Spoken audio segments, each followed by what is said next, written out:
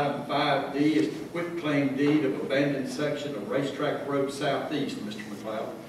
Uh, yes, sir. On May fourteenth, twenty twenty-four, the board abandoned a section of Racetrack Road Southeast, west of Highway thirty-one. Uh, the property on both sides of the abandoned section of road is owned by Southern Gateway LLC, and they have asked the board to quit claim, uh, the abandoned section to them.